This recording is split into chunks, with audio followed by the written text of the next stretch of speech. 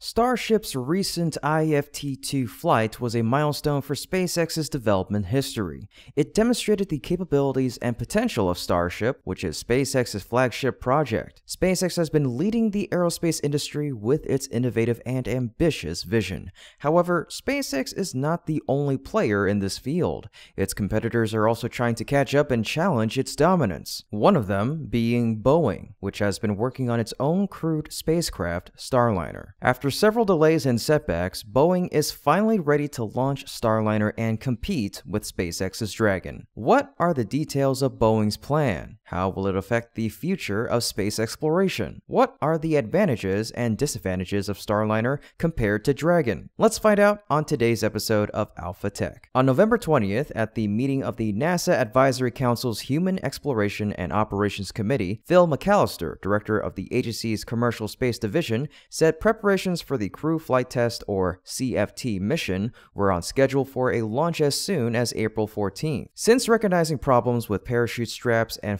flammable tape in June, Boeing and NASA have spent months repairing and upgrading them. They said it would take them two months to fix the flammable tape problem and four months to resolve the parachute problem. After these months, the flammable tapes were probably removed and replaced with safer materials. The parachute also seems to have been redesigned and will be tested in January next year. McAlister went on to say, We're on track for that launch. We've still got a lot of things to do, obviously. For its first crewed flight, Boeing will use the third Starliner prototype, also called Calypso. It was the prototype used in the first orbital test flight in December of 2019. That flight encountered several software errors that prevented it from connecting and docking on the ISS, forcing it to land after two flight dates. Starliner's first crew flight will carry astronauts Butch Wilmore and Sunita Williams to the ISS. If it can launch as planned, this Starliner flight will likely mark notable milestones. First, it'll be the first crewed vehicle to fly from the Cape Canaveral area since the Apollo 7 flight in 1968, since most crewed flights are mainly conducted at the nearby Kennedy Space Center. Second, Second, it'll be the first crewed mission to land on land instead of landing in the ocean like previous vehicles. However, its launch schedule will still depend on a drop test in January next year. This test will be to check the parachute landing process, one of the problems that Starliner often encountered in previous tests. In fact, this crewed flight was scheduled six years ago, back in 2017. In 2014, NASA awarded Boeing a contract worth $4.2 billion to develop a vehicle that helps send astronauts to the ISS. Afterward, they also received an additional 300 million, increasing the total amount they received to $4.5 billion.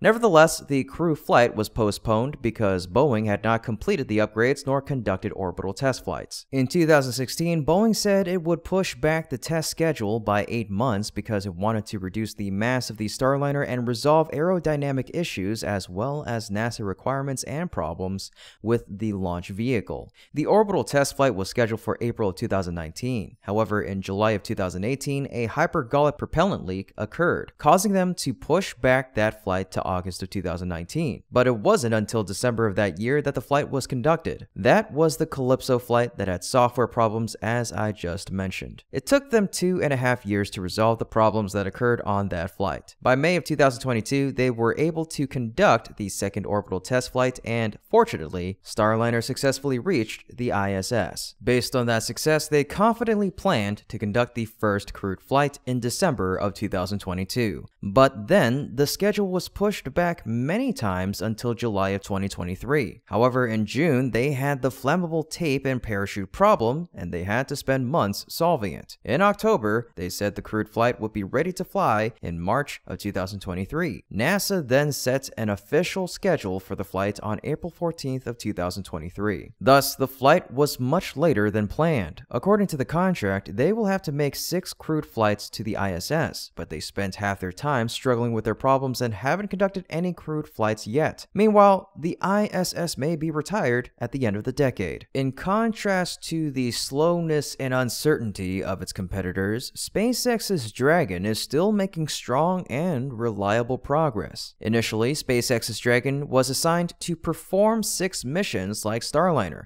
but thanks to its reliability, it was assigned three more missions in February of 2022 and five more in September of 2022 by NASA, increasing the total number of missions of Crew Dragon to 14. To date, SpaceX has carried out seven crewed missions under NASA contracts, of which the most recent mission was carried out on August 26th. This year, SpaceX has completed two crewed missions for NASA. The eighth flight is expected to be launched in February of 2024. The remaining missions will be spread out until 2029. Besides NASA contract flights, Crew Dragon also carries out other missions like Inspiration and missions to help Axiom Space build the commercial space station. Thus, up until now, SpaceX's Dragon has performed a total of 11 crewed flights, including test flights. Obviously, SpaceX's achievements with the Dragon are superior to Starliners, both in quantity and quality. But besides the Dragon, SpaceX is also accelerating strongly in other projects. This year, they conducted two Starship IFTs, or Integrated Flight Tests. The most recent flight was conducted on November 18th. Compared to the first flight, the recent Starship flight has made a lot of progress. Successes will continue to be maintained and promoted by SpaceX in subsequent flights. However, in the near future, SpaceX still will have to spend a lot of time researching and improving their vehicle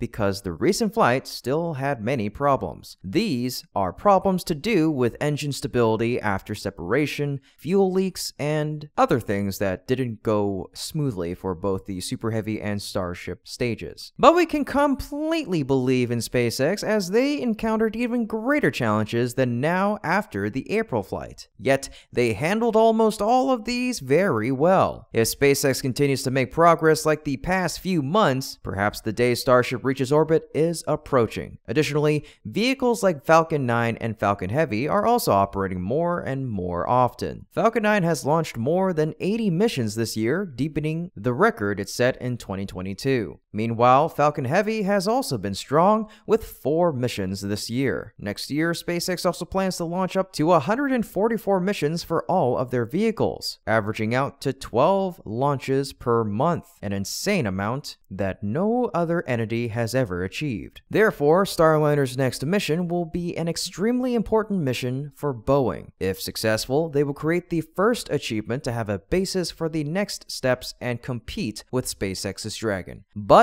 if it fails, it'll be complete and total humiliation. A farce for the aerospace industry. The issue will no longer be about reliability, it'll determine the existence of the Starliner project itself. SpaceX is flying very high and far with Dragon, Falcon 9, and Falcon Heavy. Shortly, they will also break all the limits with their largest and most powerful vehicle, the Starship. This will probably be the last chance for Boeing and Starliner, because if they can't do anything before SpaceX makes history with Starship, it'll be difficult for them to receive public attention even if they succeed afterward. Hopefully, Boeing and Starliner can do something special after so many years trying to create competition with SpaceX's Dragon, making the race to the ISS less boring. Competition will help the US aerospace industry continue to move forward and achieve greater feats in innovation. But how about you? Do you think Starliner can be launched on schedule? If so, do you believe it'll be successful? Let me know your thoughts in the comments section down below. Otherwise, that's it for today's episode. Thank you so much for watching, and we hope you enjoyed it and learned something new. Please let us know your thoughts in the comments section down below because your feedback is very important to us and helps us make better videos for you. So for that, once again, we thank you, and we hope to see you again next time.